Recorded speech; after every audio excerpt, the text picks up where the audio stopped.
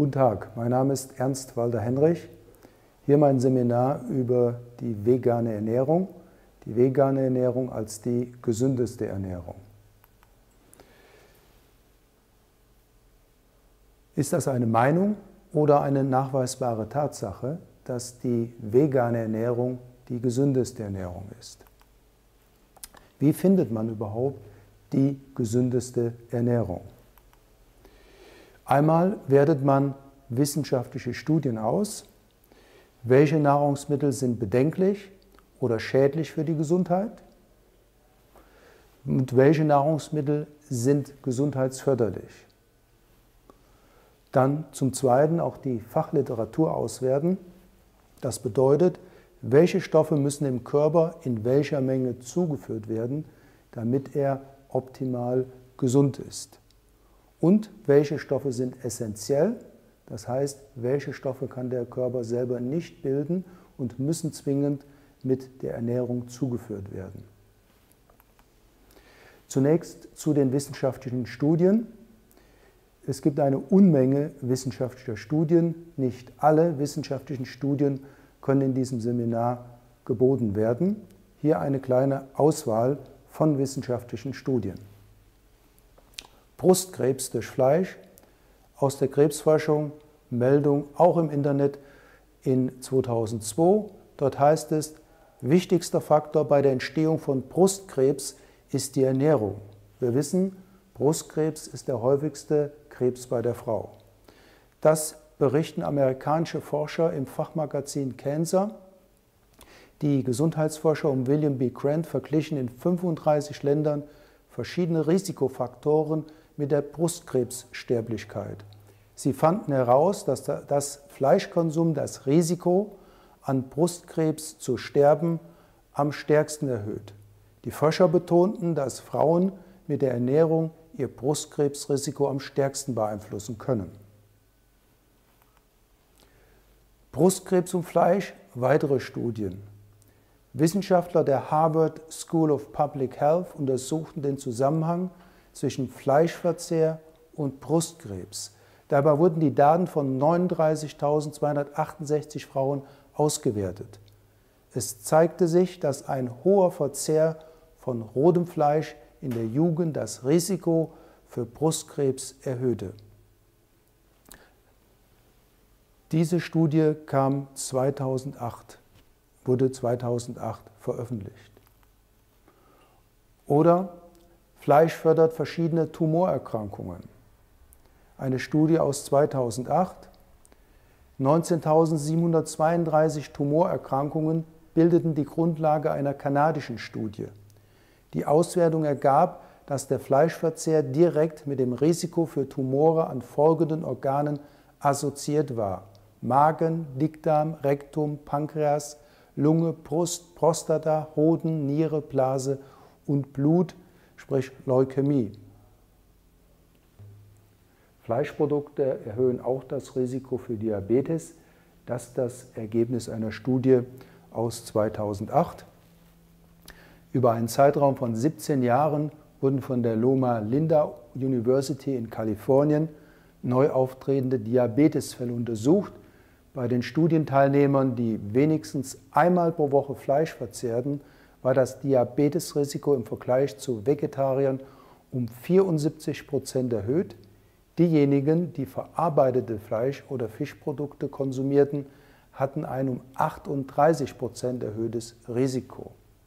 Diabetes, eine Volksseuche, die immer mehr zunimmt, mit einer hohen Letalität, einer hohen Sterblichkeitsrate und die praktisch alle Organe betrifft.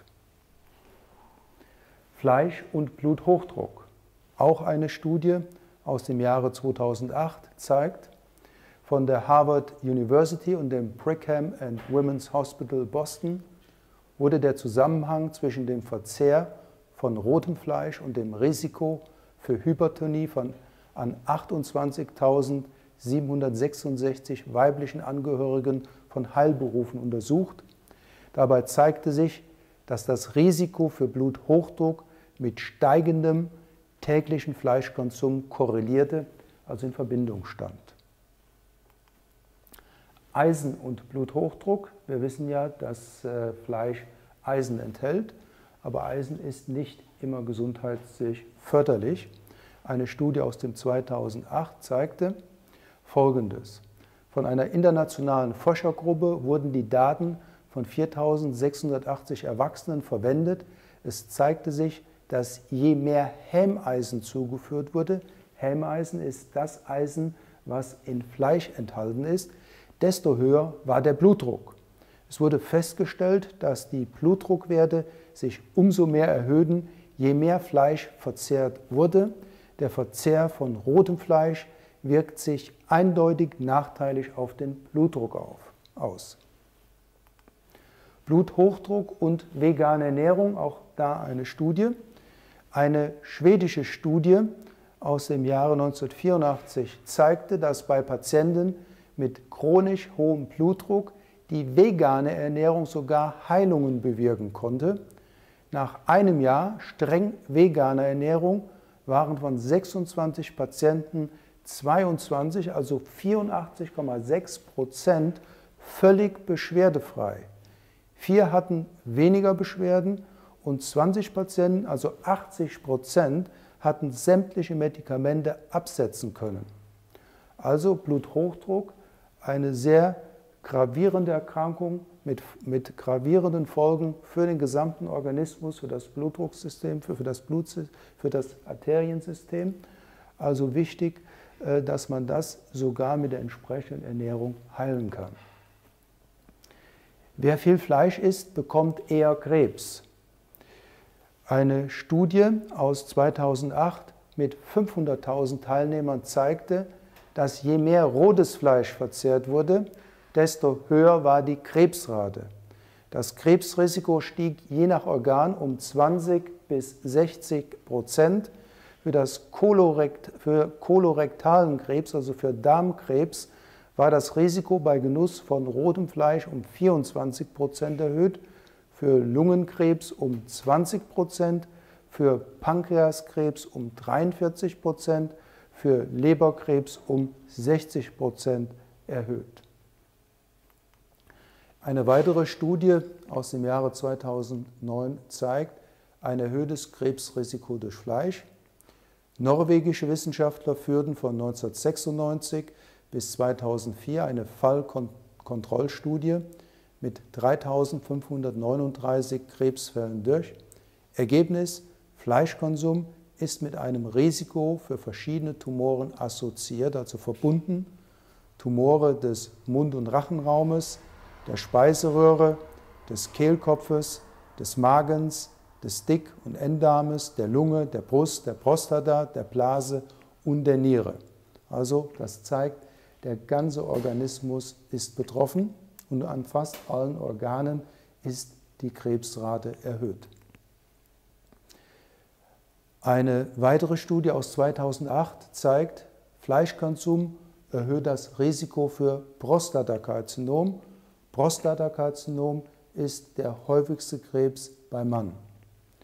Im Rahmen der Agricultural Health Study mit 23.080 männlichen Studienteilnehmern wurde ein erhöhtes Risiko für ein Prostatakarzinom bei Fleischkonsum festgestellt. Es zeigte sich kein Zusammenhang zwischen der Art des Fleisches und den spezifischen Zubereitungsmethoden auf das Karzinomrisiko.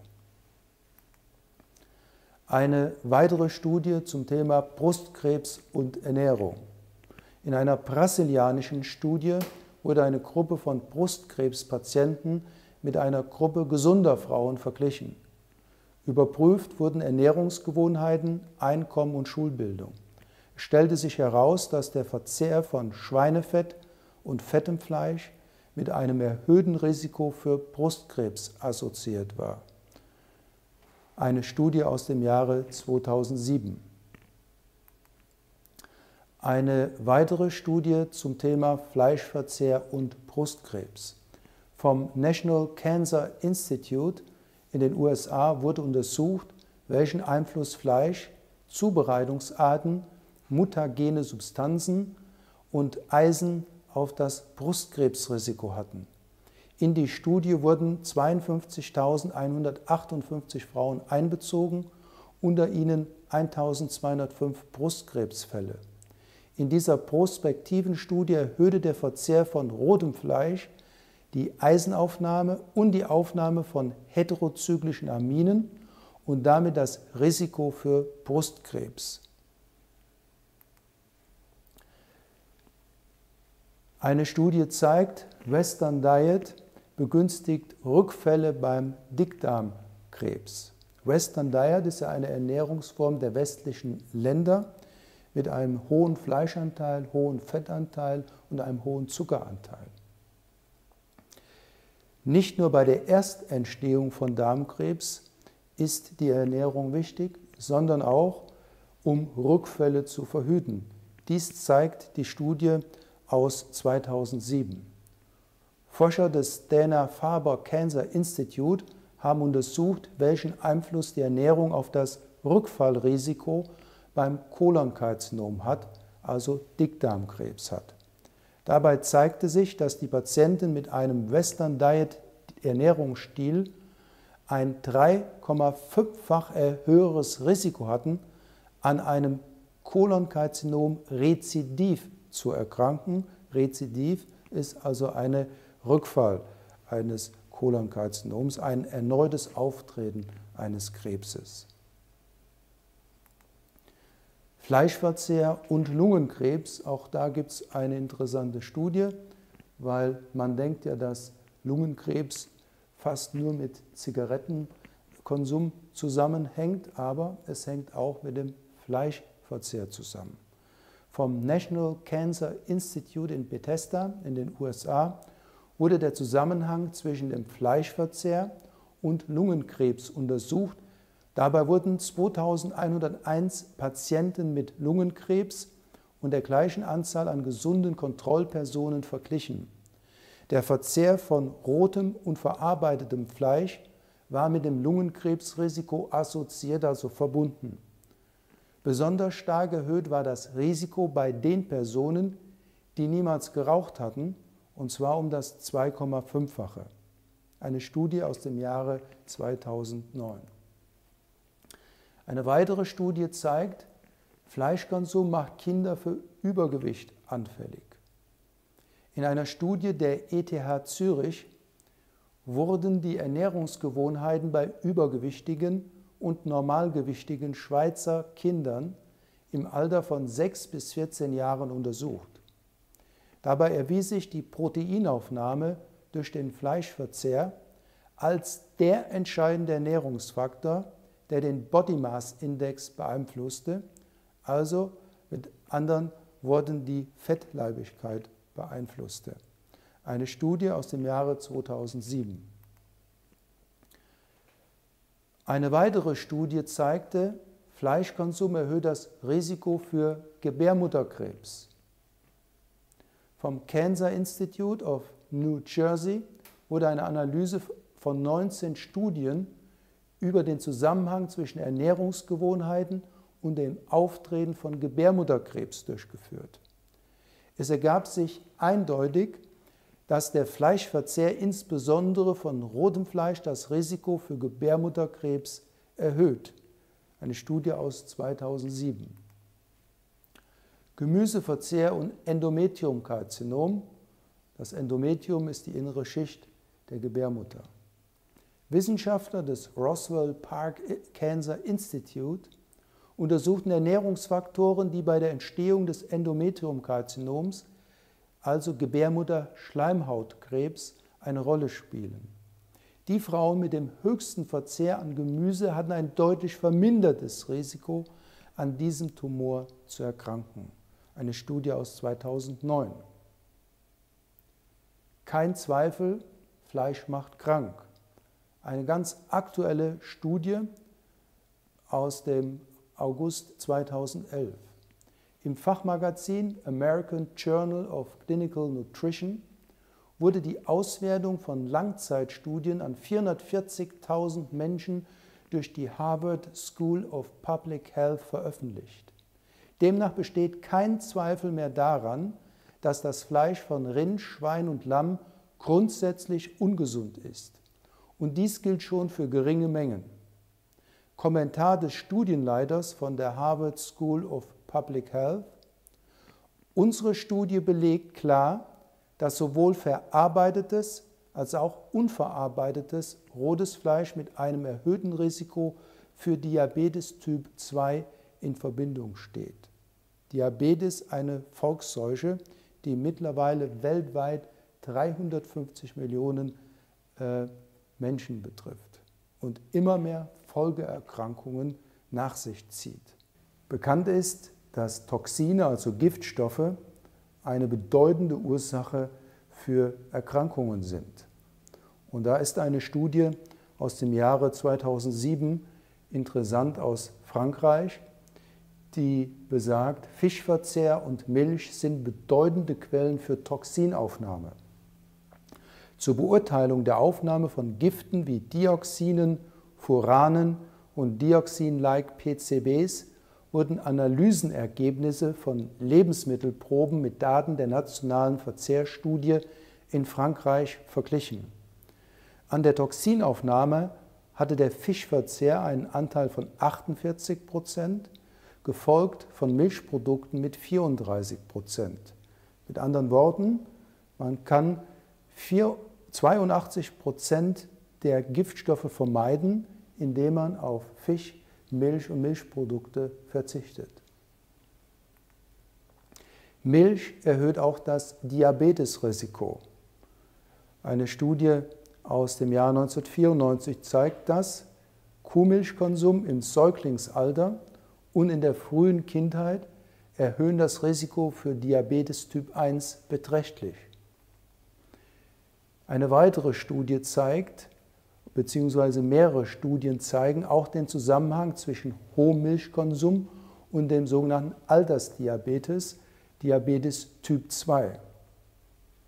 Milch erhöht auch das Risiko für, für Diabetes und Multiple Sklerose, eine Studie aus 2004.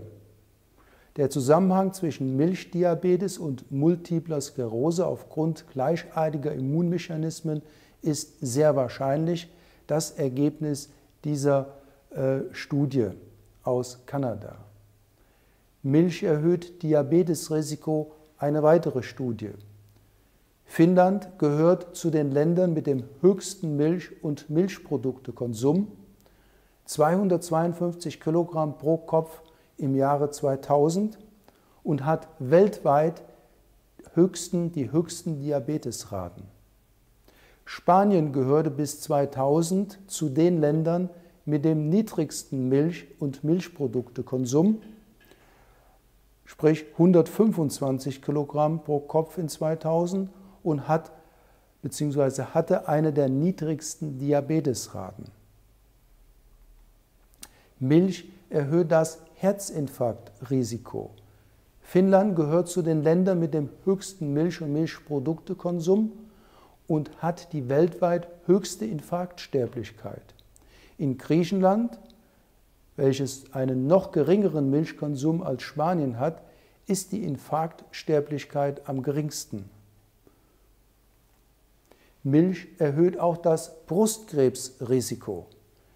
Die WHO-Zahlen, also die Zahlen der Weltgesundheitsorganisation über die Brustkrebshäufigkeit weltweit, decken sich mit denen über die Höhe des Milchkonsums. Die westlichen Milchländer mit dem höchsten Milchkonsum haben die höchsten Brustkrebsraten. Und wie bereits gesagt, ist der Brustkrebs der häufigste Krebs bei der Frau. Kein Wunder, wenn man bedenkt, dass mit, mit der Milch ein Hormoncocktail aufgenommen wird, der in höchster Weise an der, an der Ausbreitung des Krebses beteiligt ist. Milch erhöht das Risiko für Brust- und Prostatakrebs. Brustkrebs, der häufigste Krebs bei der Frau, Prostatakrebs, der häufigste Krebs beim Mann. Es besteht eine überproportionale Häufigkeit von Brust- und Prostatakrebs in den westlichen Ländern mit hohem Milchkonsum gegenüber den asiatischen Ländern mit niedrigem Milchkonsum. Innerhalb der asiatischen Länder besteht ein Stadt-Land-Gefälle bei westlich orientierten Städten mit hohem Milchkonsum. Also dass in den Gebieten, wo hoher Milchkonsum ist, also in städtischen Gebieten, ein höherer Krebsrate vorhanden ist. Milch und Fleisch erhöhen Risiko für Brustkrebs. In China wird Brustkrebs umgangssprachlich als reiche Frauenkrankheit bezeichnet, weil sich nur reiche westliche Nahrungsmittel leisten können, zu denen insbesondere Fleisch und Milch zählen. Milch erhöht Brustkrebsrisiko, eine weitere Studie. Nach dem Zweiten Weltkrieg ist in Japan die Brustkrebshäufigkeit parallel zum Milch- und Milchproduktekonsum gestiegen. Milch erhöht Parkinson-Risiko, eine Nervenerkrankung. Das Risiko an Parkinson zu erkranken ist für Männer mit täglichem mehrfachen Milchkonsum erheblich erhöht, eine Studie aus 2002. Milch erhöht auch das Alzheimer-Risiko, eine Seuche unserer Zeit. Dies ist das Ergebnis einer Studie des Taub Institute for Research on Alzheimer's Disease an der New Yorker Columbia Universität. Fettreiche Milch und Milchprodukte wie zum Beispiel Butter und Käse fördern Alzheimer. Zur gesunden Ernährung gehören demnach vorwiegend Gemüse, Nüsse und frisches Obst. Eine aktuelle Studie aus dem Jahre 2010. Milch und Akne.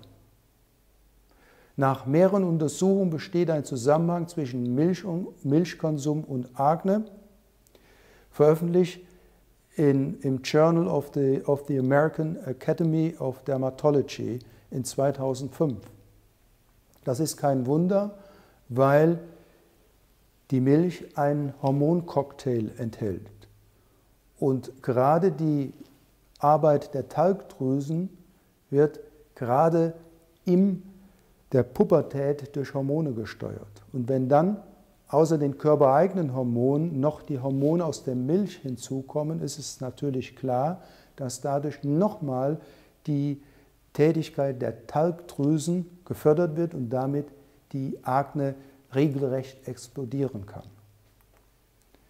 Laktoseintoleranz ist eigentlich die bekannteste Form der Milchunverträglichkeit. Laktoseintoleranz ist bei vielen Völkern weit verbreitet und betrifft bei den in Amerika lebenden verschiedenen Bevölkerungsgruppen 95 Prozent der Asiaten, 74 Prozent der Indianer, 70 Prozent der Afrikaner, 53 Prozent der Südamerikaner und 15 Prozent der Kaukasier. Symptome können Magen-Darm-Verstimmungen, Durchfall und Blähungen sein. Fakten zu Milch vom Physician Committee for Responsible Medicine, dem Ärztekomitee für verantwortungsvolle Medizin. Dort heißt es, im Interesse gesunder und starker Knochen muss man mehr auf den Kalziumverlust als auf die Aufnahme achten. Eine der wesentlichsten Ursachen für Kalziumverlust ist eine Ernährung mit hohem tierlichem Eiweißgehalt, sodass eine größere Menge an Kalzium mit dem Urin verloren geht. Eine an Fleisch- und Milcherzeugnissen reiche Ernährung übertrifft die empfohlenen Proteinmengen stark. Gerade die aus tierlichen Nahrungsmitteln aufgenommenen Proteine verursachen einen höheren Kalziumverlust. Das bedeutet, dass die Kalziumbilanz negativ ist, auch wenn die Ernährung reich an Kalzium ist.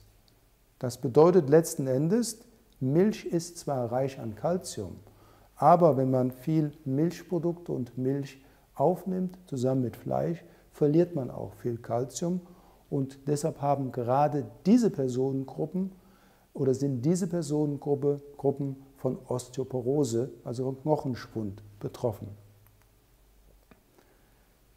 Weitere Fakten zu Milch.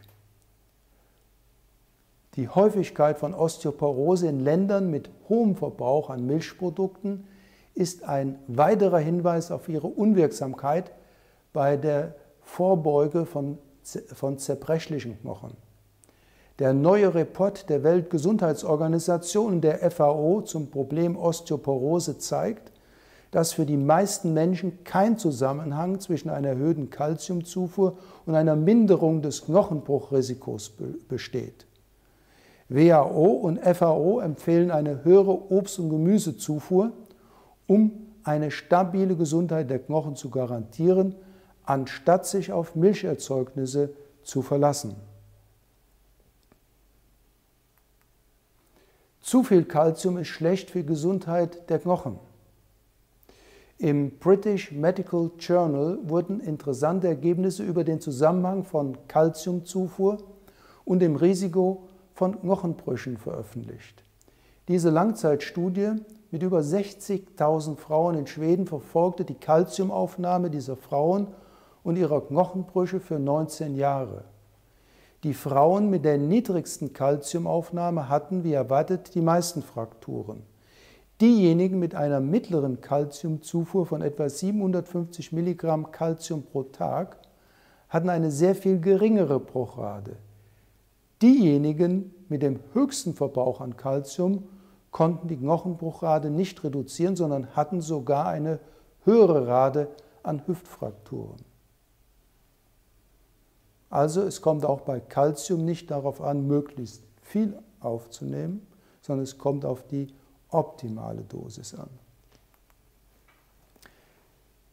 20 synthetische Chemikalien in jeder Milch gefunden. Wir hatten eben schon gehört, dass Toxine in der Milch sind. Und das wird durch vielerlei Studien immer wieder bestätigt. Hier eine Studie aus dem Jahre, aus dem April 2011, also ganz aktuell. Die gefundenen Chemikalien sind Antibiotika, nicht steroidale Antiphlogistika, also Schmerzmittel, Antiepileptika, Konservierungsstoffe, Lipidsenker, Beta-Blocker, also Mittel gegen den Bluthochdruck und synthetische Geschlechtshormone. Insgesamt wurden 20 pharmakologisch aktive Substanzen gefunden. Also das noch Substanzen, die vorkommen, außer den bereits natürlicherweise vorkommenden Hormonen und Wachstumshormonen in der Milch. Gute Fakten zu Milch zeigt auch ein TV-Bericht, der im Norddeutschen Rundfunk gesendet wurde. Er ist im Internet abrufbar. Wenn man in eine Suchmaschine eingibt, wie gesund ist Milch wirklich, dann findet man diesen Beitrag auf YouTube oder myvideo.de. Die gesundheitlichen Gefahren durch Milch lassen sich am besten zusammenfassen durch das Statement von Professor Dr. Frank Oski, Kinderarzt und Präsident der amerikanischen Gesellschaft zur Erforschung von Kinderkrankheiten.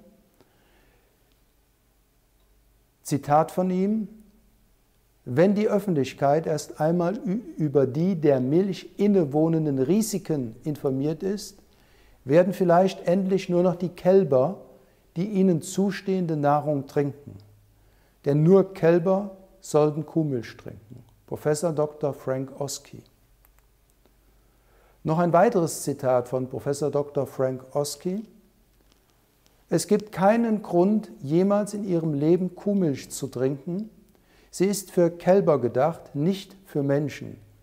Wir sollten noch heute aufhören, Milch zu trinken.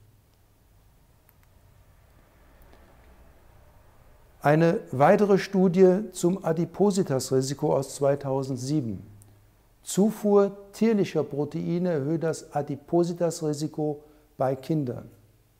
In einer Studie der spanischen Universitäten von Córdoba und Granada wurden Adipositas, also Fettleibigkeit, im Kindesalter untersucht.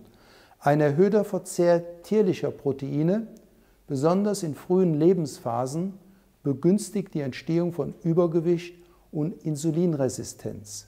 Das Gleiche trifft auf ballaststoffarme Ernährungsformen, zum Beispiel mit Süßigkeiten und Weißmehlprodukten, zu. Auch Fleisch erhöht das Risiko für Übergewicht. In einer Studie wurde der Fleischverzehr von prämenopausalen Frauen mit dem Körperfett und dem Gewicht verglichen. Die Frauen mit dem niedrigsten Fleischkonsum waren am wenigsten übergewichtig, die Frauen mit dem höchsten Fleischkonsum hatten ein um 52,8 Prozent vermehrtes Übergewichtsrisiko, eine Studie aus 2006. Eine weitere Studie zeigt sogar den Zusammenhang zwischen Hautkrebs und Fleischverzehr. In einer australischen Studie wurde der Zusammenhang zwischen Ernährungsgewohnheiten und Hauttumoren untersucht. Ein hoher Fleisch- und Fettverzehr erhöhte signifikant das Risiko für das Auftreten von Stachelzellkarzinomen an der Haut. Ein hoher Verzehr von Gemüse und Obst führte hingegen zu einer Verminderung dieses Tumorrisikos um 54 Prozent. Eine Studie aus 2007. Eine weitere Studie, die sich mit den Ernährungsgewohnheiten und der Sterblichkeit befasst, aus 2007. Im Rahmen der Shanghai Women Health Study, bei der 75.000 Frauen über einen Zeitraum von mehreren Jahren beobachtet wurden, zeigte sich die höchste Sterblichkeit bei einer fleischreichen Ernährung. Ein hoher Fleischkonsum war auch mit einem erhöhten Risiko für Diabetes assoziiert. Außerdem wurde festgestellt, dass eine Ernährung mit einem reichhaltigen Verzehr von Früchten zu einer geringeren Sterblichkeit führte.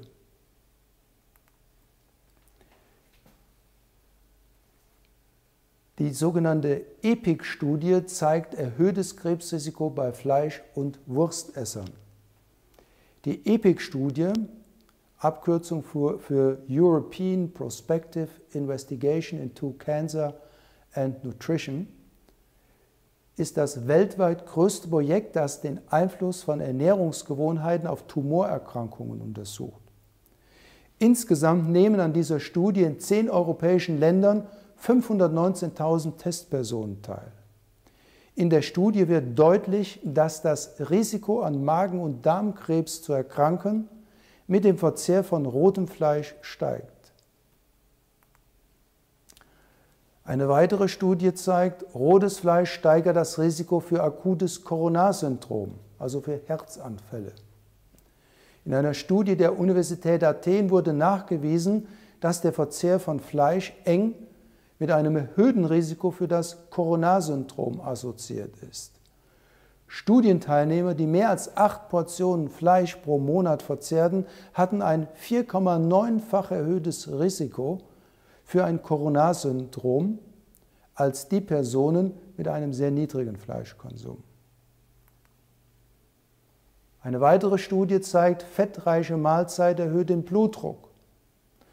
In einer Studie der Universität von Calgary wurden bei 30 gesunden Probanden die kardiovaskulären Effekte einer fettreichen Mahlzeit untersucht. Es zeigte sich, dass nach einer fettreichen Mahlzeit mit einem hohen Anteil an gesättigten, also tierlichen Fettsäuren, der systolische und der diastolische Blutdruck anstieg.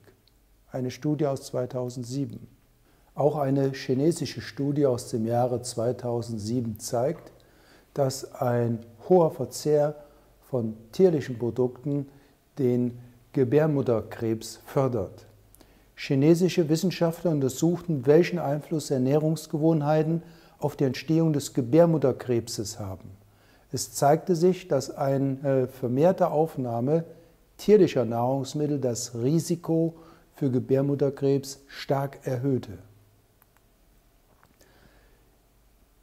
Eine andere Studie zeigt, dass der Fleischkonsum das Risiko für Nierenkrebs erhöht. Eine Analyse der Tulane University in New Orleans hat 13 Studien über den Zusammenhang zwischen dem Fleischverzehr und dem Risiko für Nierenkarzinome ausgewertet. Dabei zeigte sich eine signifikante Korrelation zwischen der Höhe des Fleischkonsums der Nierentumorrate. Dies traf sowohl für rotes Muskelfleisch und Geflügel als auch für verarbeitete Fleischprodukte zu. Also das ist wichtig für alle die, die denken, man könnte von Rind, Schwein und so weiter eben auf Geflügel übergehen und hätte dann keine Risiken zu befürchten. Interessant auch, dass intelligente Kinder häufiger Vegetarier werden. Im British Medical Journal wurden die Ergebnisse einer Studie publiziert. 20 Jahre zuvor war bei 4222 Mädchen und 3948 Jungen im Alter von 10 Jahren der Intelligenzquotient bestimmt worden. Jetzt nach 20 Jahren wurden die damaligen Studienteilnehmer nach ihren Ernährungsgewohnheiten befragt. Dabei zeigte sich eindeutig, je höher der IQ im Kindesalter war, desto größer war die Wahrscheinlichkeit, als Erwachsener Vegetarier zu werden. Intelligenz und Ernährung, auch da gibt es entsprechende Untersuchungen, weil ja früher die vegetarische Ernährung und vegane Ernährung seltsamerweise als Mangelernährung galten und dann dachte man, Kinder würden Intelligenzdefizite erleiden. Deshalb machte man diese Untersuchungen. Man war aber überrascht, dass die Ergebnisse zu einem völlig anderen Ergebnis kamen, als man erwartet hatte.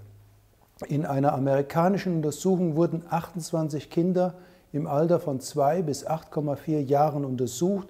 Davon waren 22 Vegetarier und sechs makrobiotische Veganer. Ergebnis, der durchschnittliche IQ aller Kinder lag bei 116, war also überdurchschnittlich. Bei den veganen Kindern lag er bei 119. Die Autoren der Untersuchungen kamen zu dem Schluss, dass die überdurchschnittliche geistige Entwicklung der Kinder sowohl auf das pädagogische Niveau der Eltern als auch auf die Ernährung zurückzuführen sei. Eine Untersuchung aus dem Jahre 1980. Eine weitere Untersuchung zu diesem Thema kam 1992 heraus. In einer niederländischen Studie wurden vegan und vegetarisch makrobiotische Kinder im Alter von vier bis fünf Jahren untersucht. Ergebnis, der durchschnittliche IQ aller Kinder lag bei 126, war also weit überdurchschnittlich.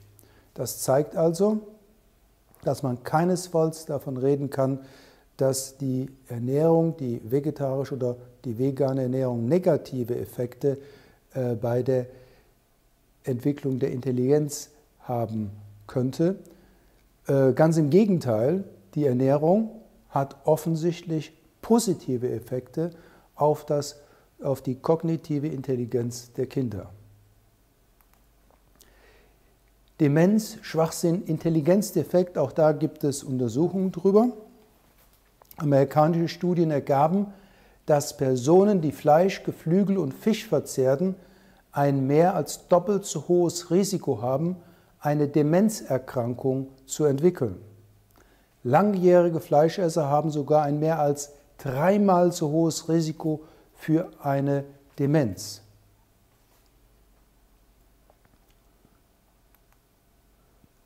Hier noch eine Studie aus 2009 von über Fleischkonsum und Diabetes.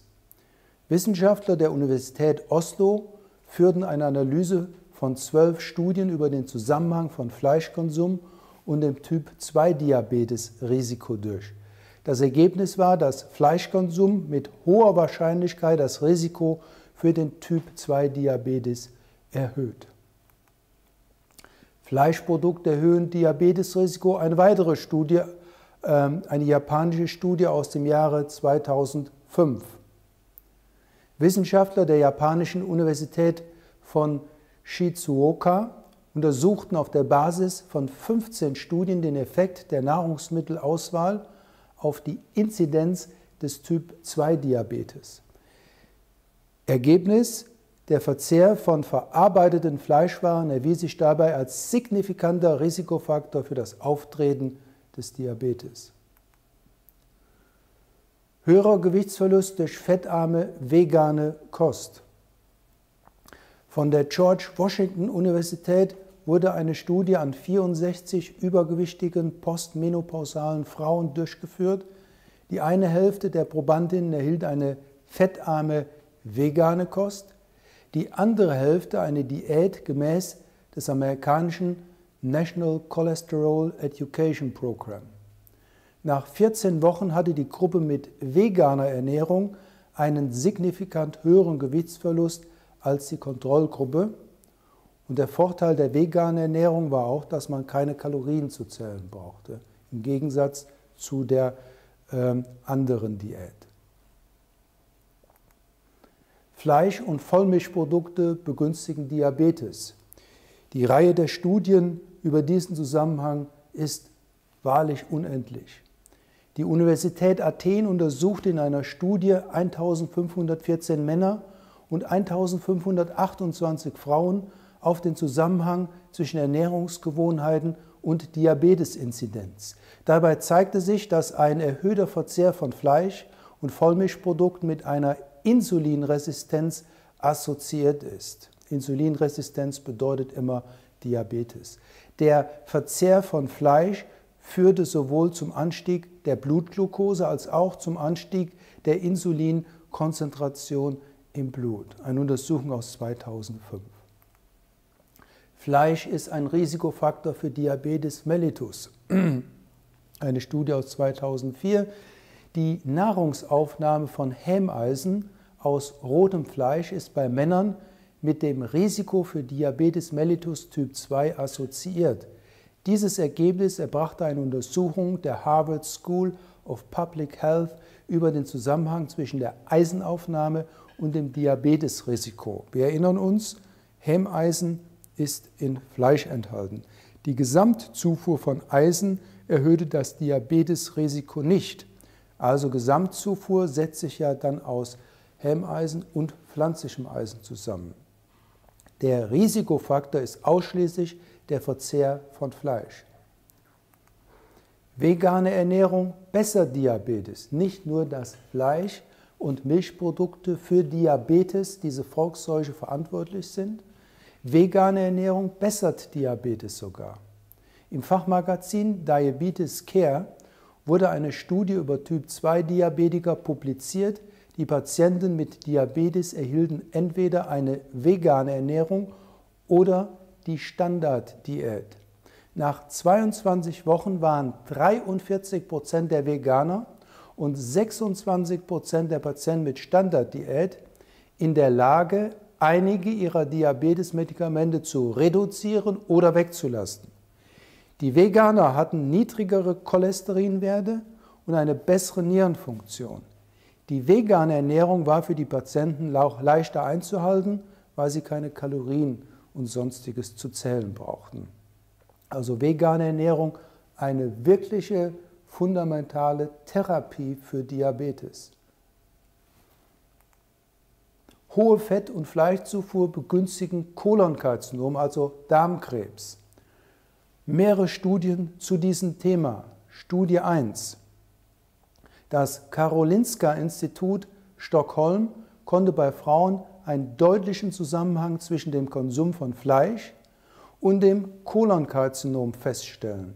Dazu wurden Daten der schwedischen Mammographie-Studie verwendet, an der 61.433 Frauen im Alter zwischen 40 und 75 Jahren teilnahmen.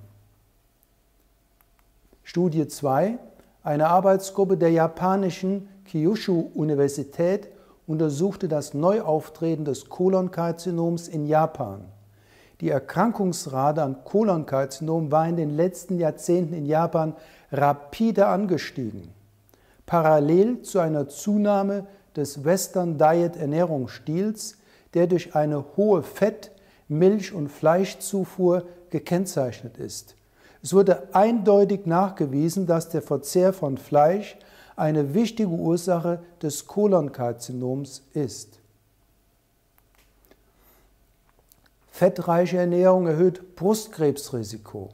Eine fettreiche Ernährung erhöht einer Studie zufolge das Risiko, an Brustkrebs zu erkranken. Betroffen seien Frauen, die viel Fisch, Butter, Margarine, unverarbeitetes Fleisch wie Wurstwaren, aber wenig Brot und Fruchtsäfte konsumieren. Das berichtet das Deutsche Institut für Ernährungsforschung Potsdam-Rehbrücke.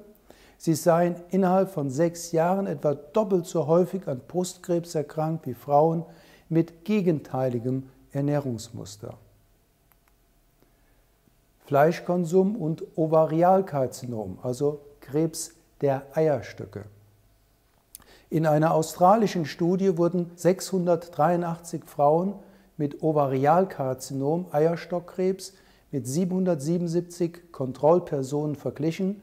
Es wurden drei Haupternährungsmuster identifiziert, Snacks und Alkohol, Obst und Gemüse und als drittes Ernährungsmuster Fleisch und Fett. Das Fleisch- und Fetternährungsmuster war mit einem erhöhten Risiko für das Ovarialkarzinom assoziiert, und zwar um den Faktor 2,5 bei den Frauen mit dem höchsten Fleisch- und Fettverzehr. Bekannt ist ja, dass äh, Fleischverzehr und Dickdarmkrebs zusammenhängen. Jetzt weiß man aber auch, dass Dünndarmkrebs mit Fleischverzehr zusammenhängt. Auch da gibt es entsprechende Studien drüber.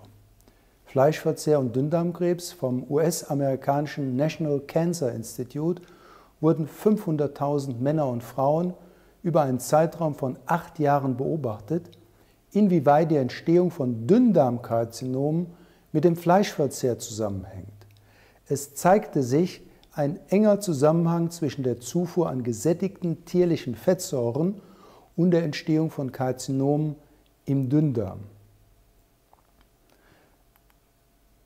Eine amerikanische Studie zeigt, dass Eier und Cholesterin das Risiko für Schwangerschaftsdiabetes erhöht, einer gefürchteten Komplikation in der Schwangerschaft. Der Verzehr von Eiern erhöht nach einem Artikel im, American Journal of Epidemiology das Risiko für Schwangerschaftsdiabetes. Die Forscher stellten fest, dass mit steigendem Verzehr von Eiern und Cholesterin auch das Risiko von Schwangerschaftsdiabetes erheblich ansteigt. Frauen, die die meisten Eier, also sieben oder mehr pro Woche konsumierten, hatten ein bis zu 165 Prozent erhöhtes Risiko. Cholesterin in den Eiern ist gefährlich. Die Autoren einer Publikation im Canadian Journal of Cardiology erklären, dass schon das Cholesterin in nur einem Ei den von der American Heart Association und der National Cholesterol Education Program empfohlenen Höchstwert überschreitet. Ein Bericht der Dietary Guidelines Advisory Committee bekräftigt die Empfehlung für Personen mit kardiovaskulären Erkrankungen und Typ-2-Diabetes, die Aufnahme von Cholesterin auf weniger als 200 Milligramm pro Tag zu reduzieren. Diese Empfehlung gilt auch für Personen mit einem hohen Risiko für diese Erkrankungen. Eine Studie aus 2010. Fischkonsum erhöht Schadstoffbelastung. Viele Studien zeigen das. Hier eine äh, Studie aus China.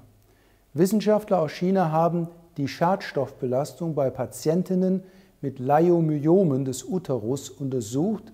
Das sind Geschwülze des Uterus, darunter die Schwermetalle Arsen, Cadmium, Blei und Quecksilber sowie Kohlenwasserstoffverbindungen. Viele Umweltgifte haben hormonartige Effekte und stehen deshalb im Verdacht, Tumore zu fördern. Bei den Patienten mit Leiomyomen wurde eine höhere Konzentration an Schadstoffen nachgewiesen als bei den Kontrollpersonen. Die Anreicherung von Schadstoffen im Organismus korreliert positiv mit dem Verzehr von Seafood, zum Beispiel Fischen, Meeresfrüchten, Algen etc. Krebserregende Stoffe in Fischen aus Aquakulturen auch nachgewiesen. Wissenschaftler der Universität Hohenheim wiesen im Fett von Seefischen aus Aquafarmen deutlich erhöhte Konzentrationen an halogenierten Verbindungen nach, Seit Jahren sind die zwei bedenklichsten EU-weit verboten. Diese Substanzen reichern sich in größeren Mengen in Fischen aus Aquafarmen an. Speisefische sind eine erhebliche Quecksilberquelle. Eine ganz gefährliche Entwicklung durch die Verschmutzung der Meere. Der Bund für Umwelt und Naturschutz Deutschland, BUND, hat die Quecksilberbelastung von Frauen in 21 Ländern untersucht. Bei 95 Prozent der Frauen wurde Quecksilber nachgewiesen. In Ländern mit hohem Fischkonsum waren die Quecksilberwerte besonders hoch. Der Vorsitzende des Ausschusses Gesundheit und Umwelt der Bundesärztekammer bezeichnete Seefisch als die größte Quecksilberquelle. Professor Philippe Grandchamp von der Harvard University vermutet sogar einen Zusammenhang zwischen Quecksilber und einem schleichenden Intelligenzverlust in unserer Gesellschaft. Quecksilber und Hirnentwicklung. Eine wichtige Studie, die zeigt, welche Gefahren Kinder ausgesetzt sind, wenn sie Fisch erhalten. Wissenschaftler der Universität Granada in Spanien untersuchten den Einfluss einer Quecksilberbelastung auf die geistige Leistungsfähigkeit bei Vorschulkindern im Alter von vier Jahren. Die Quecksilberkonzentrationen waren mit einem hohen Verzehr von Fisch assoziiert, mit dem Wohnort, mit dem Alter der Mutter und passivem Rauchen. Die Quecksilberkonzentrationen in den Haaren korrelierten in, mit einer Abnahme der kognitiven Leistungsfähigkeit, also der geistigen Leistungsfähigkeit, insbesondere mit dem Gedächtnis und der sprachlichen Ausdrucksfähigkeit. Also, es ist nicht gut, Kindern Fisch zu geben. Quecksilberbelastung durch Fisch bei Kindern. Noch eine Untersuchung von der Universität, diesmal in Barcelona. In einer Studie dieser Universität fand sich ein eindeutiger Zusammenhang zwischen der Quecksilberkonzentration in den Haaren und dem Fischkonsum. Bei den Kindern, die mehr als viermal pro Woche Fisch verzehrten, waren die Quecksilberkonzentrationen in den Haaren fast dreimal höher als bei den Nicht-Fischessern. Neugeborene von Müttern, die zweimal oder öfter pro Woche Fisch verzehrten, wiesen fast dreifach höhere Quecksilberwerte auf als Neugeborene von Frauen, die kaum Fisch gegessen hatten. Wer weiß, welche gravierenden gesundheitlichen Probleme Quecksilber im Körper macht, gerade auch bei der geistigen Entwicklung, da, da muss man davor warnen, äh, Fisch äh, Kindern zu essen zu geben. Hormone und tierliche Produkte. Wissenschaftler der Universität Melbourne untersuchen den Zusammenhang zwischen dem Verzehr von tierlichen Produkten und den Blutkonzentrationen von Hormonen. Die Frauen mit dem höchsten Verzehr von Milchprodukten hatten ca. 15% höhere Estradiolkonzentrationen. Die Studie zeigt, dass ein höherer Verzehr von Fleisch sowie von Milchprodukten die Konzentration der Steroidhormone erhöht. Steroidhormone sind zum Beispiel eng mit dem Risiko für Brustkrebs und Prostatakrebs assoziiert. Hier kann man also schön feststellen, was die Ursache ist, warum die Krebsraten erhöht sind. Sie haben bisher einen kleinen Überblick über wissenschaftliche Studien erhalten, die die Gefährlichkeit von Fleisch, Milch, Milchprodukten und äh, Fischen, Eiern und so zeigen. Daraus haben natürlich die Ernährungsorganisationen und Ärzteorganisationen ihre Schlussfolgerungen gezogen und diese Schlussfolgerungen dieser Organisationen möchte ich Ihnen auch kurz schildern. Das gemeinsame Positionspapier der ADA, Amerikanische Gesellschaft für Ernährung, und des DC, Verband der kanadischen Ernährungswissenschaftler, nimmt 2003 dazu eindeutig Stellung. Zitat aus diesem Positionspapier dieser beiden Ernährungsgesellschaften. Gut geplante vegane und andere Formen der vegetarischen Ernährung sind für alle Phasen des Lebenszyklus geeignet, einschließlich Schwangerschaft, Stillzeit, frühe und späte Kindheit und Adoleszenz, also Jugendalter. Vegetarische Ernährungsformen bieten eine Reihe von Vorteilen. Zitat 2. Es ist die Position der amerikanischen Gesellschaft für Ernährung und des Verbandes kanadischer Ernährungswissenschaftler, dass eine vernünftig geplante vegetarische Kostform gesundheitsförderlich und dem Nährstoffbedarf angemessen ist, sowie einen gesundheitlichen Nutzen für die Prävention, also Vorbeugung und Behandlung bestimmter Erkrankungen hat. 2009 hat die ADA, also die American Dietetic Association, die amerikanische Gesellschaft für Ernährung, ein überarbeitetes Positionspapier über die vegetarische und vegane Ernährung publiziert und ihre Empfehlungen für diese Ernährungsformen bestärkt.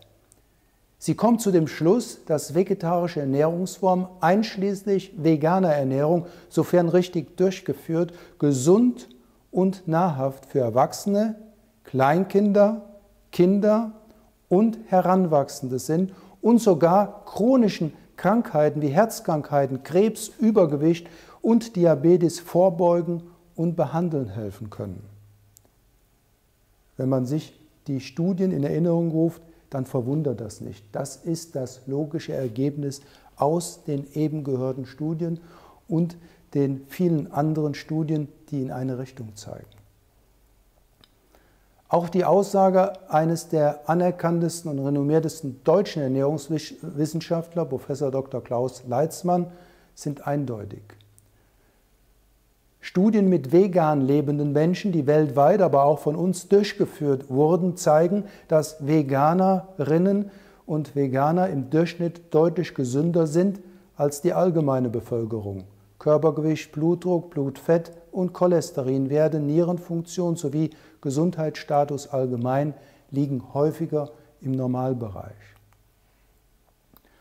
Eine der größten epidemiologischen Studien, die sogenannte China Study, über Ernährung und Gesundheit hat auch klare Ergebnisse gebracht.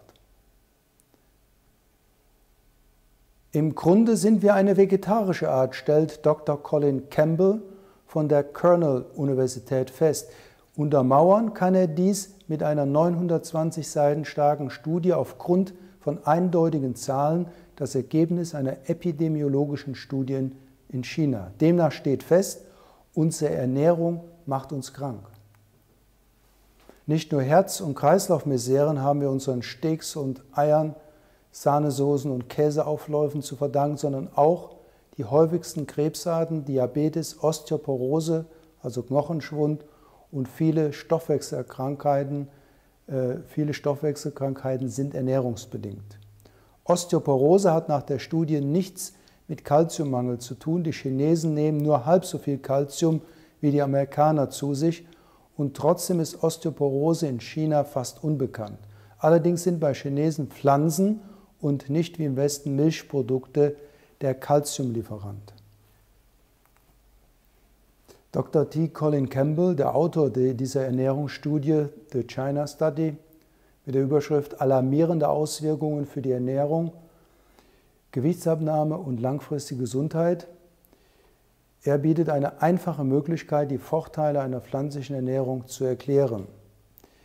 Er schreibt, die überwiegende Mehrheit aller Krebserkrankungen, Herz-Kreislauf-Erkrankungen und anderen Formen von degenerativen Erkrankungen können mit der Durchführung einer pflanzlichen Ernährung einfach verhindert werden. Auch die Aussagen der PCRM sind eindeutig. PCRM steht für The Physicians Committee for Responsible Medicine, übersetzt Ärztekommission für verantwortungsbewusste Medizin, ist eine der größten gemeinnützigen Ärzteorganisationen, die präventive Medizin fördert, klinische Forschung durchführt und höhere Standards für Ethik und Effizienz in der Forschung fördert. Die PCRM empfiehlt die vegane Ernährung als die gesündeste Ernährung und begründet dies auch logisch nachvollziehbar. Die PCIM schreibt, vegane Ernährung, die keine tierlichen Produkte enthält, ist sogar gesünder als vegetarische Ernährung. Vegane Ernährung enthält kein Cholesterin und sogar weniger Fett, gesättigte Fettsäuren und Kalorien als vegetarische Ernährung, weil sie keine Milchprodukte und Eier enthält.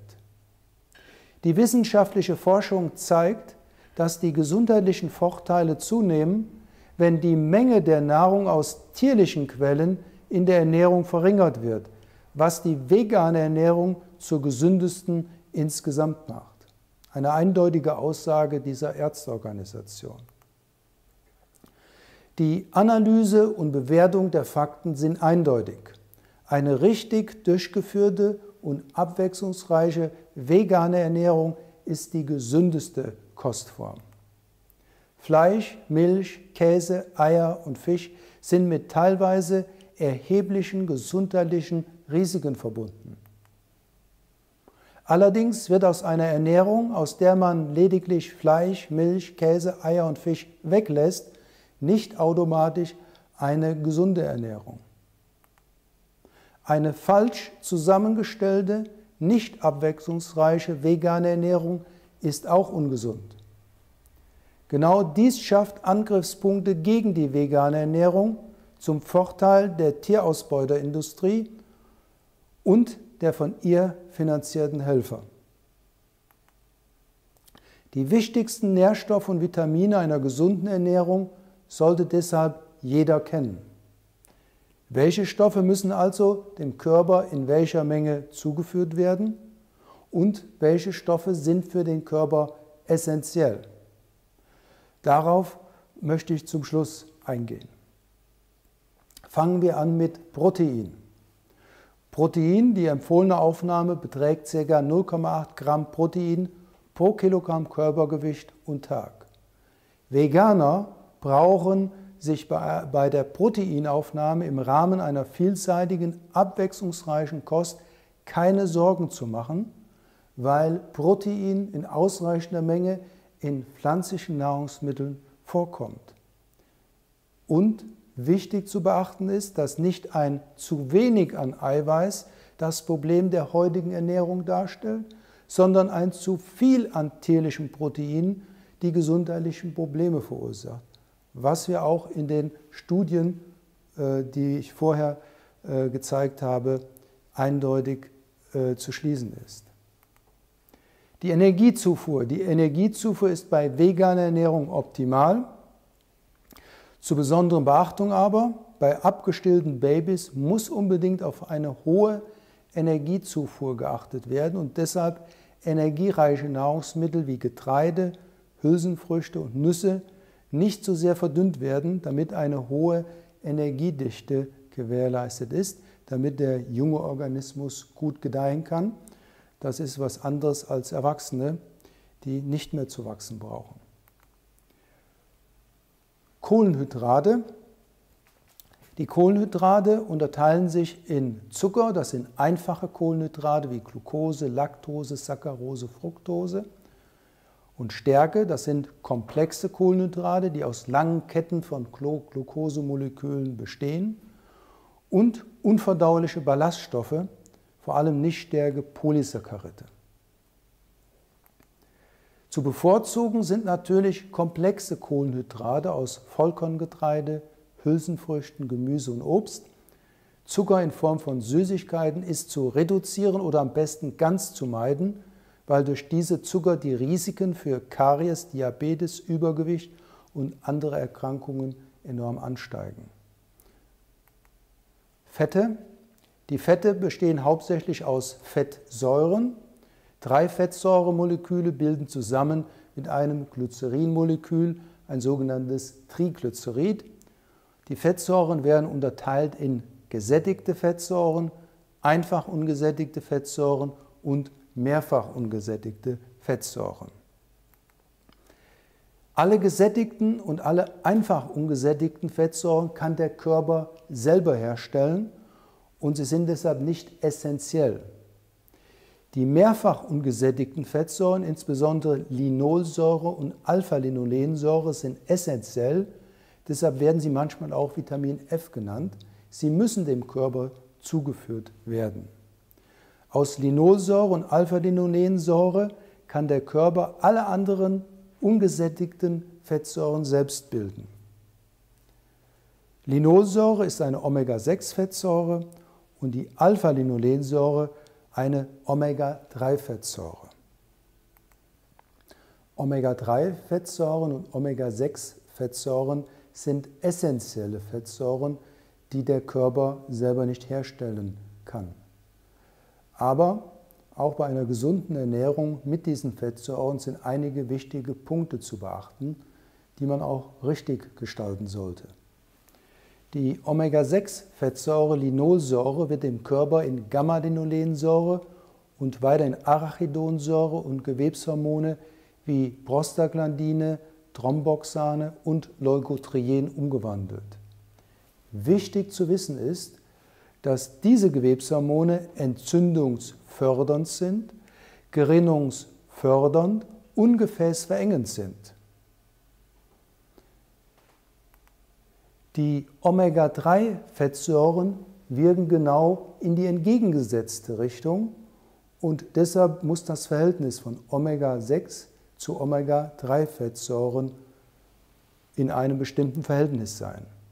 Die Omega-3-Alpha-Linolensäure äh, wird im Körper in Eicosapentaensäure, abgekürzt EPA, und Docosahexaensäure, Abkürzung DHA, und weiter in die Gewebshormone Prostaglandine, Thromboxan und Leukotrien umgebaut.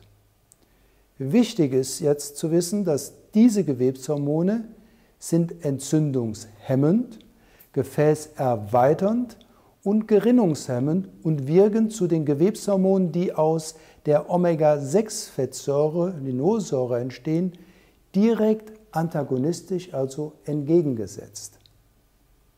Und daraus können Sie schon schließen, dass wir im Körper bzw. bei der Ernährung auf ein ausgeglichenes Verhältnis dieser beiden Fettsäuren achten sollten. Wichtig ist ein ausgewogenes Verhältnis von Omega-6-Fettsäuren zu Omega-3-Fettsäuren. Das optimale Verhältnis von Omega-6 zu Omega-3-Fettsäuren liegt bei 2 zu 1 bis 5 zu 1, also 2 Teile bis 5 Teile Omega-6-Fettsäuren zu einem Teil Omega-3-Fettsäuren. Bei nahezu allen Ernährungsformen ist es leider so, dass zu viel Omega-6-Fettsäuren aufgenommen werden und zu wenig Omega-3-Fettsäuren. Dies gilt sowohl für omnivore Ernährungsformen, Vegetarier, als auch für Veganer.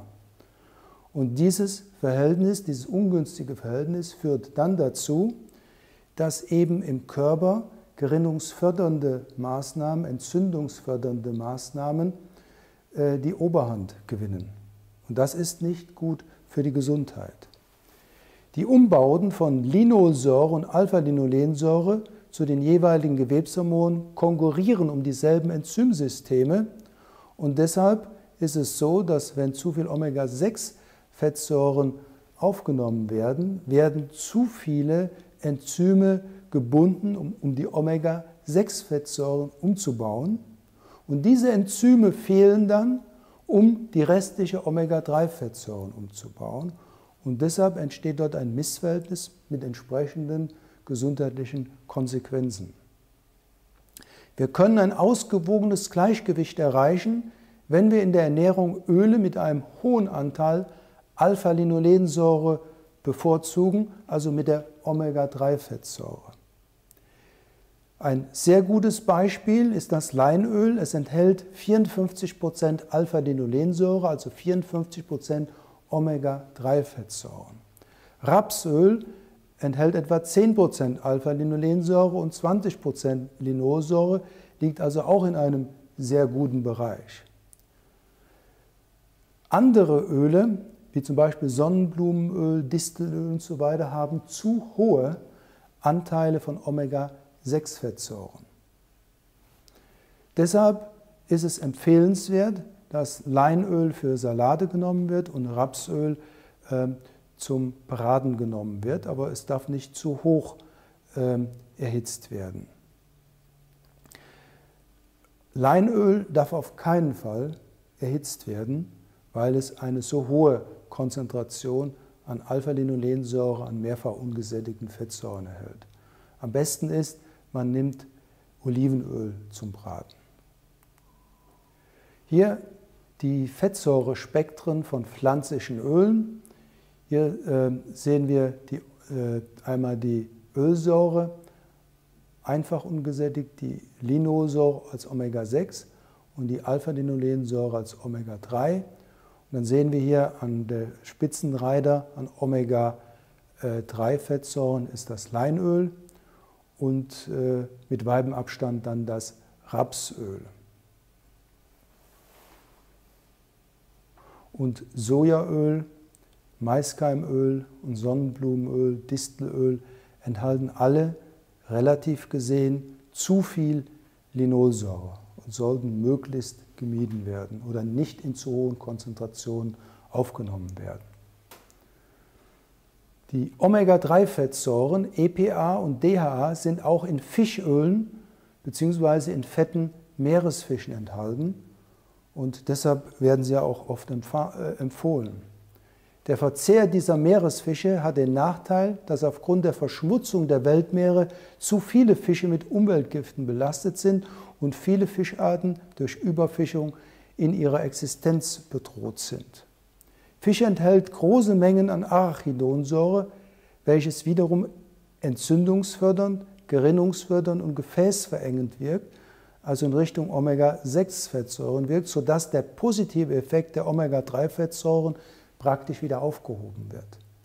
Also auch der gesundheitliche Effekt hinsichtlich Omega-3-Fettsäuren ist bei Fischen in Wahrheit nicht gegeben, zumal auch die negativen Faktoren wie die Giftstoffe, Toxine in Fischen halt den vermeintlichen gesundheitlichen Wert der Fische wieder zunichte machen.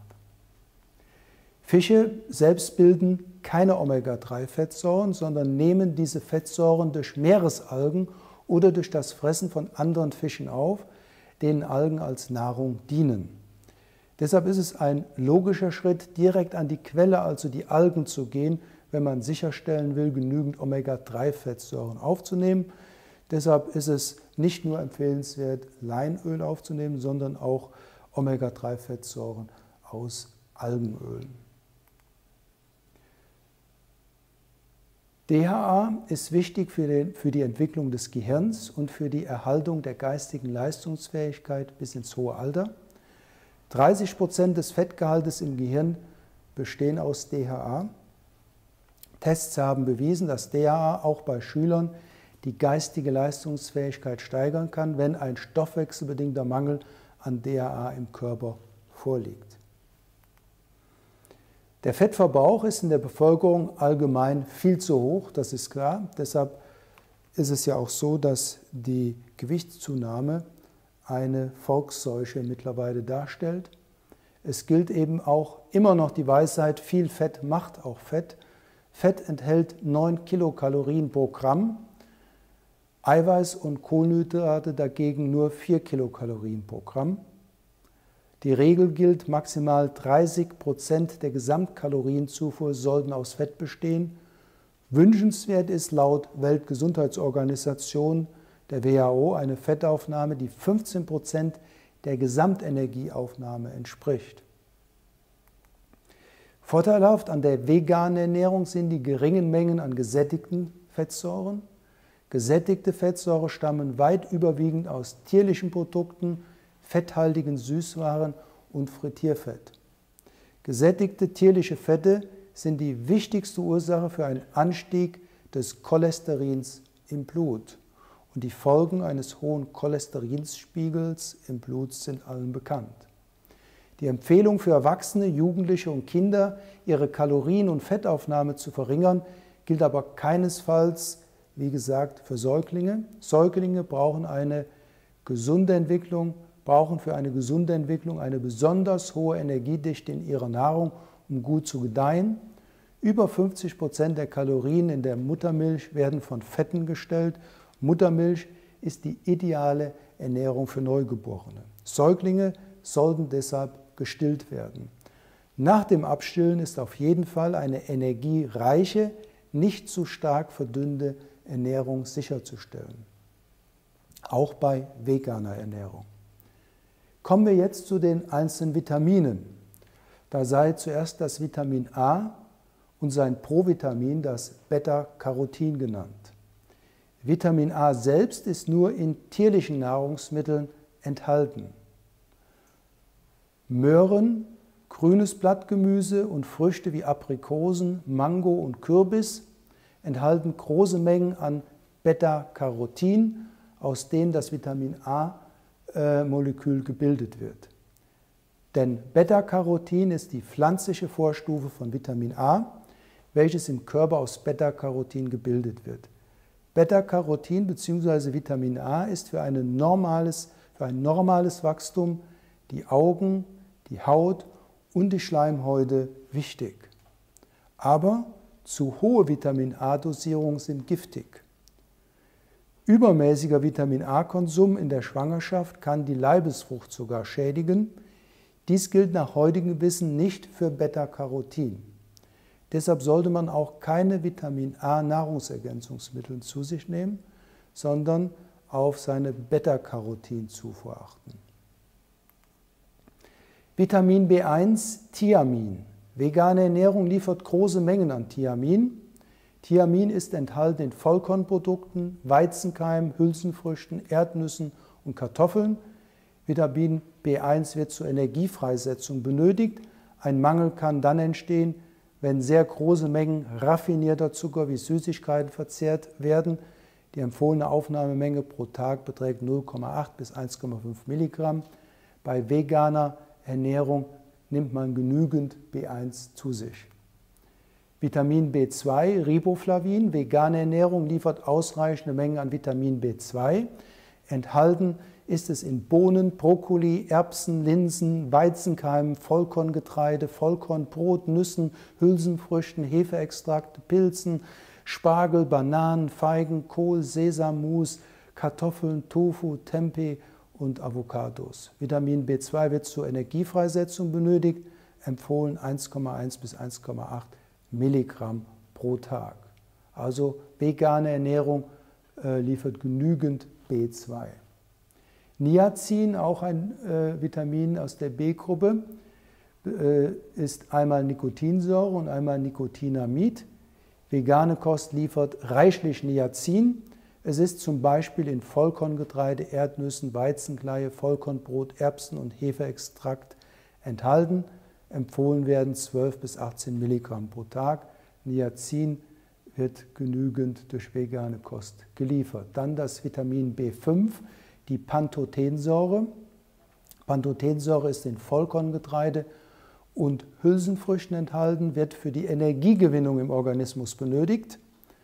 Ein Mangel ist bei ausgewogener veganer Ernährung unwahrscheinlich und wurde auch bisher noch nicht beobachtet. Drei bis sieben Milligramm pro Tag werden empfohlen. B5 hat man genügend bei veganer Ernährung. Dann das Vitamin B6 setzt sich zusammen aus Pyridoxal, Pyridoxin und Pyridoxamin. Der Vitamin B6-Bedarf hängt von der Proteinaufnahme ab. Da vegane Ernährung keine überhöhten und gesundheitlich bedenklichen Eiweißmengen liefert, ist ein Mangel nicht zu erwarten. B6 ist unter anderem in Kartoffel, Weizenkeim, Pilzen, Vollkorngetreide, Erdnüssen, Nüssen und Avocados enthalten. Empfohlen werden 1 bis 2 Milligramm pro Tag. Dann die Folsäure, Folazin. Folsäure ist für den Aminosäurestoffwechsel und zusammen mit Vitamin B12 für die Blutbildung im Knochenmark wichtig.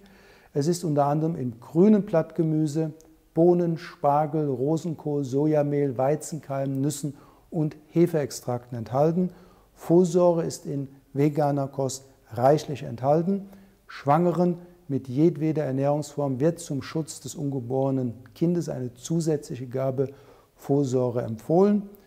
Empfohlen werden 150 bis 400 Mikrogramm pro Tag. Dann das Vitamin H, das Biotin. Biotin findet man in Vollkorngetreide, Sojamehl, Gemüse und Obst. Es wird auch im Darm von Bakterien gebildet und wo aus, von wo aus wahrscheinlich auch ein Teil resorbiert werden dürfte. Eine abwechslungsreiche vegane Ernährung liefert genügend Biotin, ein Mangel ist unwahrscheinlich. Empfohlen werden 30 bis 100 Mikrogramm pro Tag. Jetzt zum so wichtigen Vitamin B12. Dieses Vitamin B12 ist bei veganer Ernährung besonders zu beachten. Vitamin B12 wird auch Cobalamin genannt. Wir haben vier verschiedene Cobalamine.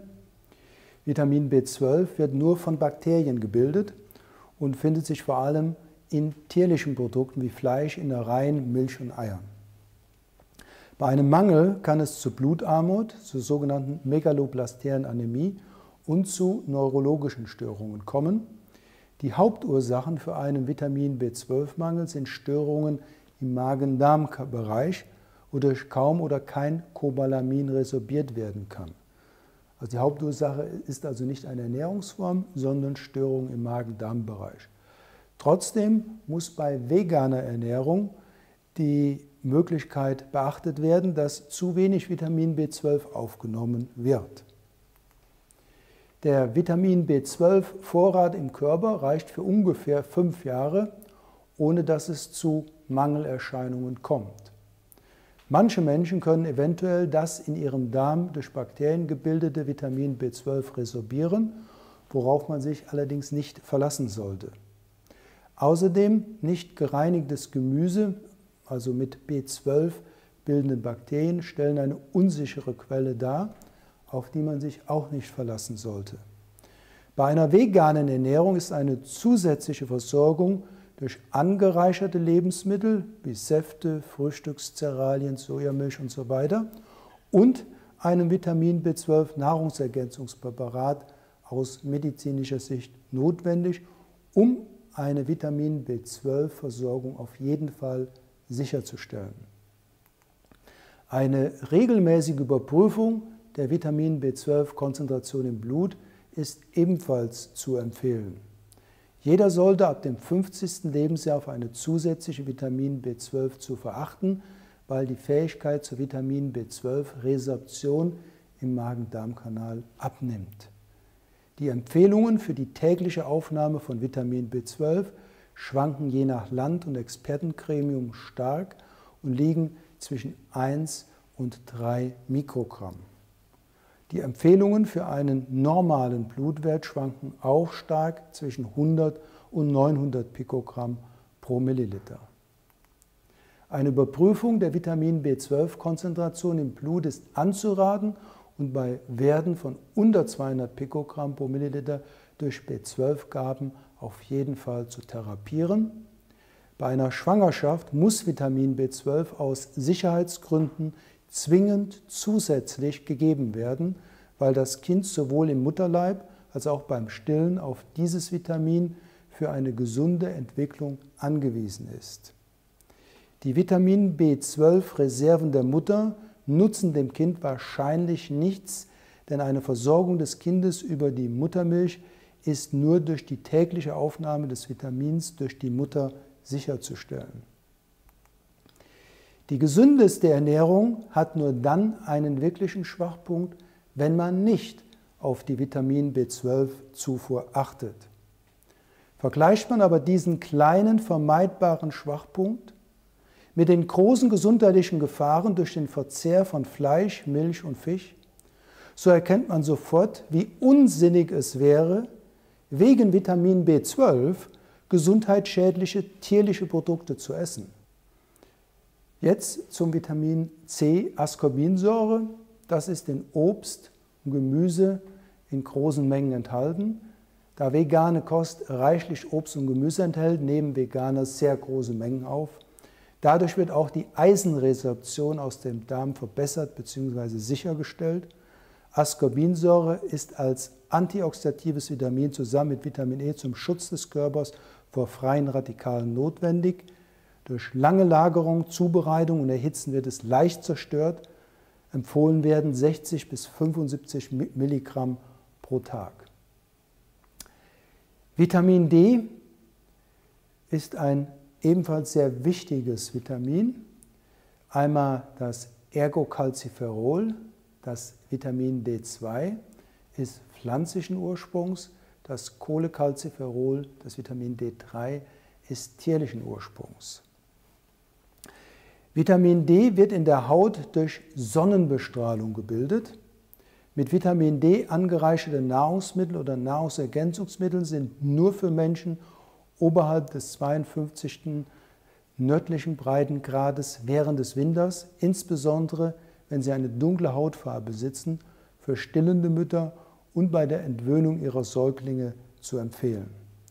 Eine UV-Bestrahlung von Gesicht, Händen und Unterarmen von täglich 15 Minuten reicht zur Bildung von genügend Vitamin D aus. Vitamin D ist für den Knochenaufbau und für die Resorption von Kalzium aus den Darm notwendig.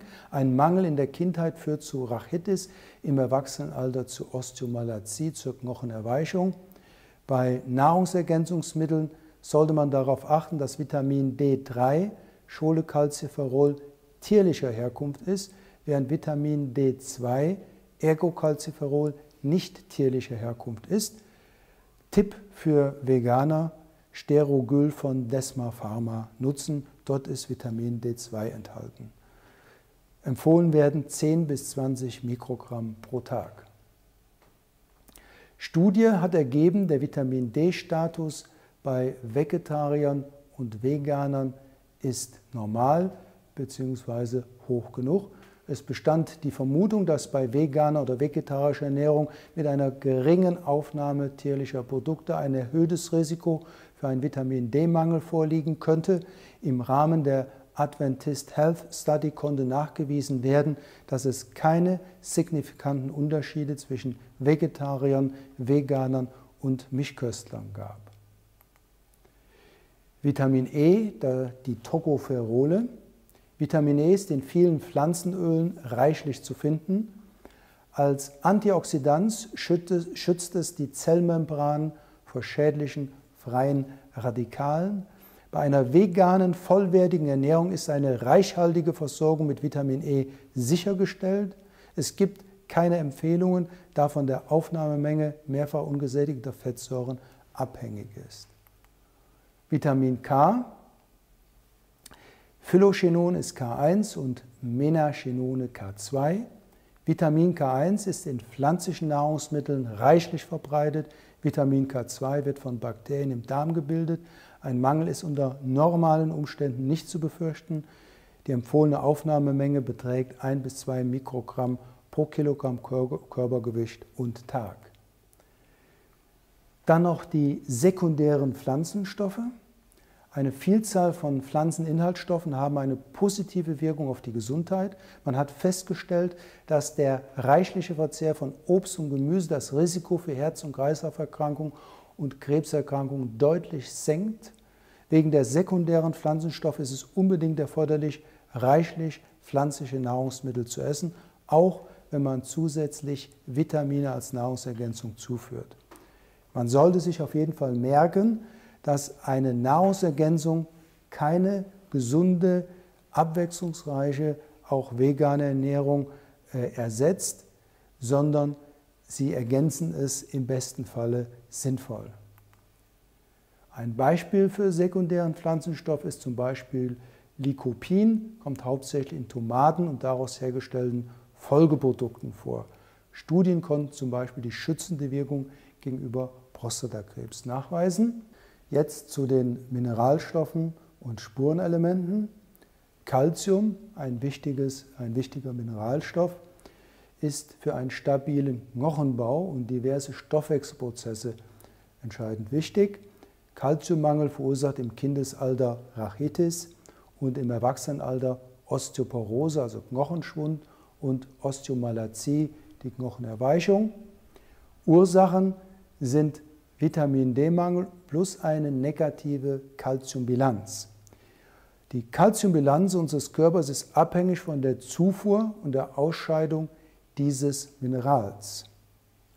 Gewöhnlich wird immer die Empfehlung ausgesprochen, viel gesundes Kalzium aufzunehmen, ohne gleichzeitig zu empfehlen, wie man möglichst wenig Kalzium über die Nieren ausscheidet. Tatsache ist, dass eine hohe Proteinaufnahme aus tierlichen Nahrungsmitteln eine vermehrte Ausscheidung von Kalzium zur Folge hat. Tierliche Eiweiße aus Eier, Fleisch, Fisch, Geflügel und Milch, die reich an schwefelhaltigen Aminosäuren sind, können einen Abbau von Kalzium aus dem Knochen verursachen. Eine Studie konnte nachweisen, dass pflanzliches Protein aus Sojamilch und Tofu keinen Kalziumverlust verursacht. Sogar bei niedriger Kalziumzufuhr und hoher pflanzlicher Eiweißaufnahme blieb die Kalziumbilanz ausgeglichen. In industrialisierten Ländern mit einem hohen Konsum an Fleisch und tierlichen Proteinen werden die Empfehlungen zur Kalziumaufnahme nach oben geschraubt. Die durch tierliches Protein verursachten Verluste sollen dadurch ausgeglichen werden, was natürlich unsinnig ist. Die Folge ist, in westlichen Industrienationen mit hoher Kalziumzufuhr und hohem Milchkonsum ist die Osteoporose am weitesten verbreitet. In Gesellschaften mit geringer Aufnahme von tierlichem Eiweiß kommt die Osteoporose selten vor, obwohl die Kalziumzufuhr deutlich geringer ist. Aufgrund der pflanzlichen Proteinaufnahme geht bei veganer Ernährung wenig Kalzium verloren. Grüne Kohlsorten wie Brokkoli, Chinakohl, Kohl, Kohlrabi verfügen über Kalzium mit einer hohen Bioverfügbarkeit von 49 bis 61 Prozent. Kuhmilch verfügt dagegen nur über Kalzium mit einer deutlich geringeren Bioverfügbarkeit von 21 bis 24 Prozent. Bei Kindern sollte auf eine kalziumreiche Ernährung geachtet werden, mit Kalzium angereichertes Tofu und Sojamilch, Bohnen, grünes Blattgemüse wie Grünkohl und andere Kohlsorten, Dörrobst, Aufstriche aus Nüssen, Samen, Mandeln, Sesamsamen und so Empfohlen werden 700 bis 1500 Milligramm pro Tag. Magnesium. Magnesium ist ein wichtiger Mineralstoff, der eine Vielzahl von Stoffwechselaktivitäten im Körper benötigt wird. Eine abwechslungsreiche vegane Ernährung stellt eine hervorragende Quelle für reichlich Magnesium dar. Empfohlen werden 270 bis 350 Milligramm pro Tag. Phosphor nach Calcium ist Phosphor der zweithäufigste Mineralstoff im Körper. Phosphor ist in pflanzlicher Kost reichlich enthalten. Der Phosphormangel ist unbekannt. Empfohlen werden 800 bis 1200 Milligramm pro Tag. Natrium und Chlorid, also Kochsalz. Tendenziell wurden die Empfehlungen für die Aufnahme von Kochsalz, NaCl, eher gesenkt, weil dadurch eine zu hohe Aufnahme gesundheitliche Nachteile befürchtet werden. Die empfohlene Aufnahmemenge pro Tag 4 Gramm. Allgemein sorgt vegane Kost zwar für eine geringere Kostsalzaufnahme als omnivore Nahrung, aber sie ist trotzdem oft noch zu hoch. Kalium. Empfehlungen der letzten Jahre haben die Tendenz, sich für höhere Kaliumzufuhren auszusprechen. Empfohlene Menge pro Tag 3 bis 4 Gramm. Eine hohe Kaliumzufuhr scheint gesundheitliche Vorteile zu bieten. Eine gut zusammengestellte vegane Ernährung mit Kartoffeln, Gemüse, Obst und Fruchtsäften stellt eine hohe Kaliumversorgung sicher. Eisen, Fleisch oder andere tierliche Produkte sind definitiv nicht notwendig, um eine gute Eisenversorgung sicherzustellen. Pflanzliche Produkte, insbesondere Vollkornprodukte und Hülsenfrüchte, enthalten besonders reichliche Mengen an Eisen. Aus pflanzlicher Nahrung kann zwar weniger Eisen aus dem Darm resorbiert werden, aber mit einer gut zusammengestellten Ernährung wird die Eisenresorption gesteigert. Tipp für die Praxis deshalb durch Vitamin C und andere organische Säuren, die reichlich in Obst und Gemüse enthalten sind, wird die Resorption gefördert. Eine Studie ergab, dass die Höhe der menstruellen Blutverluste den stärksten Einfluss auf den Eisenstatus hat, während kein Zusammenhang zwischen Eisenzufuhr und Eisenstatus festgestellt werden konnte. Veganer und Vegetarier sind nicht häufiger von einem Eisenmangel betroffen wie die übrige, übrige Bevölkerung. Es ist sogar bekannt, dass ein zu viel an Eisen schädlich sein kann und dadurch verschiedene Erkrankungen begünstigt oder verursacht werden. Empfohlene Aufnahmemengen pro Tag 10 bis 20 Milligramm, für Schwangere werden 30 Milligramm empfohlen. Fleischesser haben oft zu viel Eisen im Blut, so entstehen freie Radikale im Organismus. die aggressiv Körperzellen und Gewebe zerstören, ja sogar Krebs auslösen können. Bakterielle Infektionen werden ebenfalls durch überhöhte Eisenkonzentration begünstigt, weil Bakterien zu ihrer Vermehrung dieses Spurenelement benötigen. Die vegane Ernährung ist also auch hinsichtlich Eisen ideal. Eine Eisenüberladung ist bei gesunden Veganern nicht möglich. Zudem enthält Pflanzenkost viele Antioxidantien, die freie Radikale schnell unschädlich machen können. Trinken Sie zu jeder Mahlzeit ein Glas Vitamin C haltigen Fruchtsaft und vermeiden Sie die Eisenresorption hemmende Stoffe wie Gerbstoffe im schwarzen Tee. Falls Sie Sorge um Ihre Eisenvorräte haben sollten, zum Beispiel bei starker Monatsblutungen, so lassen Sie den Ferritinspiegel im Blut bestimmen. Das ist der Eisenproteinkomplex. Zink. Eine ausgewogene vegane Ernährung enthält genügend Zink. Gute Quellen für Zink sind unter anderem Vollkornprodukte, Erbsen, Hülsenfrüchte, Tofu und Nüsse. Ein Zinkmangel ist bei einer abwechslungsreichen, gut geplanten veganen Ernährung nicht zu erwarten. Empfohlen werden 10 bis 16 Milligramm pro Tag.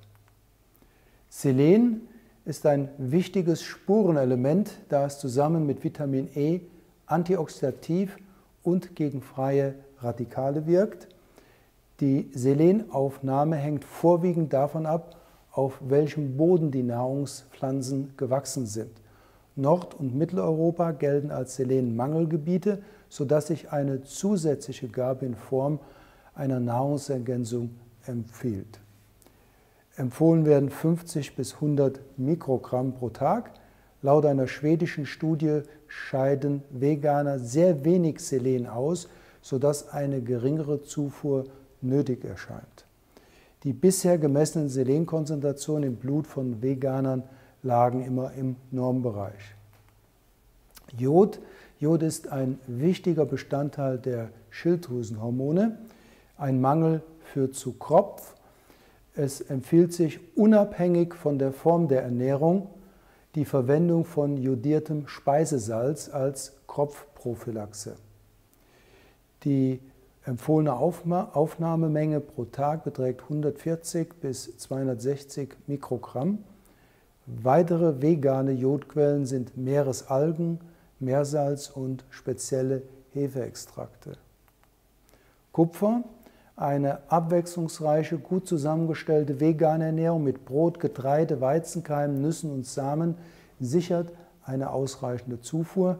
Mangelerscheinungen wurden bei Veganern bisher nicht beobachtet. Mangelerscheinungen traten bei ausschließlich mit Kuhmilch mangelernährten Säuglingen auf. Empfohlen werden pro Tag 1,5 bis 3 Milligramm Kupfer. Chrom. Chrom ist wichtig für den Glucose- und Nukleinsäurestoffwechsel. Bohnen, Vollkornprodukte, Nüsse und Bierhefe sind gute Lieferanten. Chrommangel ist bei Veganern nicht zu erwarten. Empfohlen werden 50 bis 200 Mikrogramm pro Tag. Mangan äh, findet man in Tee, Vollkornprodukten, Nüssen und Gewürzen. Ähm, die vegane Ernährung stellt eine ausreichende Versorgung sicher. Empfohlene Aufnahmemenge pro Tag 1,4 bis 5 Milligramm Mangan. Kobalt. Kobalt wird dem Körper in Form von Vitamin B12 zugeführt. Molybden, dieses Spurenelement, ist Bestandteil wichtiger Enzyme. In veganer Ernährung mit Hülsenfrüchten, Getreide und Kartoffeln ist es in ausreichenden Mengen vorhanden. Empfohlene Menge pro Tag 75 bis 250 Mikrogramm. Weitere Fakten zur Beurteilung der veganen Ernährung. Es sei noch einmal betont, dass etwa eine Milliarde Menschen weltweit an Hunger leiden und viele verhungern. Täglich sterben ca. 43.000 Kinder an Hunger. Die weltweit zur Verfügung stehende pflanzliche Nahrung wird hauptsächlich für die Erzeugung von Fleisch, Milch und Eiern verwendet und steht den Hungernden nicht zur Verfügung. Die Verschwendung pflanzlicher Nahrungsmittel ist erheblich. Um zum Beispiel ein Kilogramm Fleisch zu erzeugen, braucht man etwa 4 bis 16 Kilogramm Pflanzennahrung und 4 bis 20 Tonnen Wasser. Alle Schlachttiere auf der ganzen Welt verbrauchen eine Kalorienmenge, die dem Kalorienbedarf von 8,7 Milliarden Menschen entspricht, also mehr als der jetzt existierenden Weltbevölkerung von 6,7 Milliarden. Aber eine Milliarde Menschen hungern und viele sterben. Ein einziges Steg enthält so viel Pflanzenenergie, um etwa 40 hungernde Menschen einen Tag lang zu ernähren. Die Nutztierhaltung ist bekanntlich noch vor dem Autoverkehr der weltweit größte Verursacher von Treibhausgasen und damit der Hauptverursacher der globalen Klimakatastrophe. Laut einer aktuellen Untersuchung des renommierten World Watch Institute ist die Nutztierhaltung mit der Produktion von Fleisch, Milch und Eiern für mindestens 51 Prozent der klimaschädlichen Treibhausgase verantwortlich.